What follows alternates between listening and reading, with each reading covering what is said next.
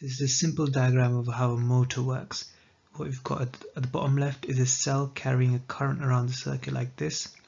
Once it goes around the loop, it comes back this way. And then you've got a magnet with a magnetic field going from north to south like this.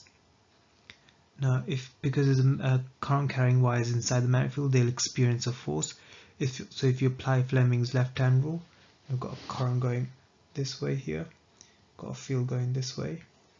So that will experience a force downwards. Now if I do the exact same thing on the other side what you'll find is that the force is going upwards now on this side. There's no force on this section of the wire. That's because it's parallel to the field so there's no force on it. So as you can see this is going to create a couple which has a turning effect which will cause it to turn around like this there's a potential problem with this, which is that when the current carrying wire, which is carrying current this way, after half a turn, it'll be on the other side, carrying current in this, this direction.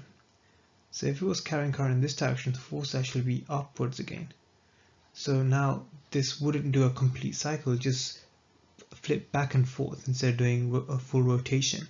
To avoid this problem, we have something called a split ring commutator and the metal brushes which are here. So what these do is every half a turn it will switch polarity so that it makes sure that the current is always going around in this direction. So the forces are always in the direction that's shown and it carries on spinning in this direction. This is a diagram of a speaker. So you've got this diaphragm which is basically the fabric and then you've got a magnet here with a coil uh, of wire that's going around it. Now the current going through the coil is an AC current, which means that it's constantly changing direction. So next minute it will be going the other way. This is important. So for example, in this case, we've got a cross section of the of the speaker and you've got current going into the page here and out this way. So in this case, if you apply Fleming's left hand rule with the field going this way here, and the field going this way over here then you'll find that the this section of the of the diaphragm will experience a force. We've got current going in and the field going up. It'll experience a force this direction here. And similarly on this side we've got current going out of the page and field going down. So using Fleming left hand rule we've got force going this way.